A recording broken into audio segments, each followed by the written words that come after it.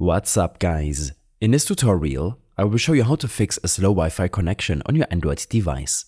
Slow internet can be a real pain, especially when you're trying to browse, stream or work. Thankfully, there are several steps you can take to troubleshoot and hopefully resolve this issue. First off, it's important to understand that your physical location relative to the Wi-Fi router significantly affects your connection quality. If you are far from your router or in a spot with poor signal like a basement or remote location, this could be the main cause of your slow Wi-Fi. Ensure you're in a location with a strong Wi-Fi signal or cellular data connection. Checking the Wi-Fi strength on other devices can help determine if the problem is with your phone or the network itself.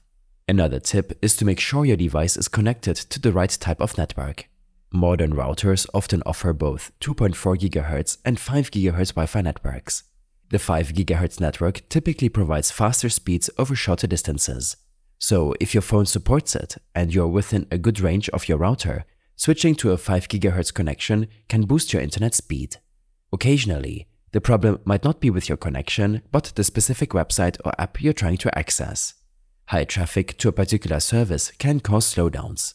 Tools like Down Detector can help you check if a website is down or if others are experiencing similar issues.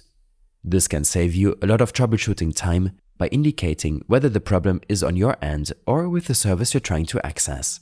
If you're still experiencing slow Wi-Fi, here are a few more strategies you can try.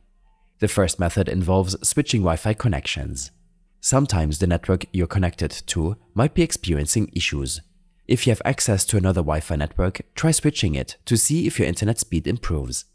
Another method would be to restart your device. It is simple but often effective, as restarting your Android device can resolve temporary bugs that may be affecting your Wi-Fi connection.